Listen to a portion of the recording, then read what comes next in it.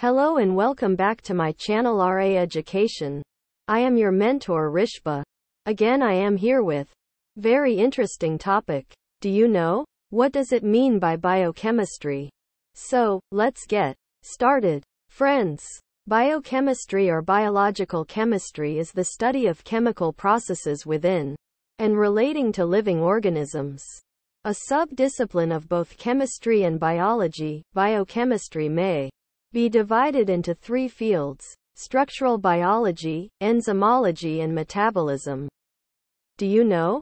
Biochemistry combines biology and chemistry to study living matter. It powers scientific and medical discovery in fields such as pharmaceuticals, forensics, and nutrition.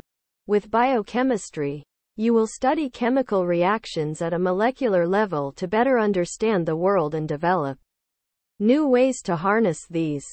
Dear students, biochemistry has given us so much knowledge that go on in living organisms. The study of biochemistry gives us the fundamental understanding of living world about how and what made up of living organisms as well as understand the concepts of functioning of various body processes and physiology of plants and animals. Well, do you know?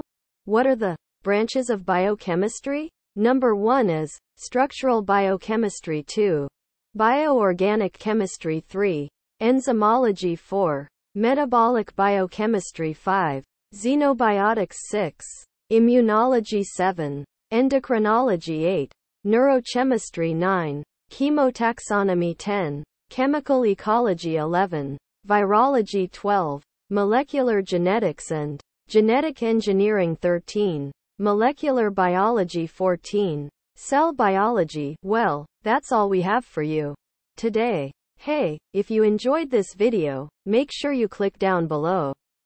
Subscribe to the button. Hit the notification bell. If you have any question feel free to contact me and leave me a comment. Thanks for watching my friends.